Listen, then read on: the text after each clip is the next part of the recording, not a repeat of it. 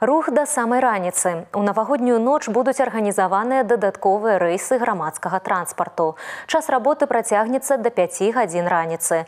Дадатковыя рэйсы будуць арганізаваныя па некалькіх аўтобусных і тралейбусных маршрутах. Падрабязны расклад шукайце на сайце дзяржаўнага перавозчыка.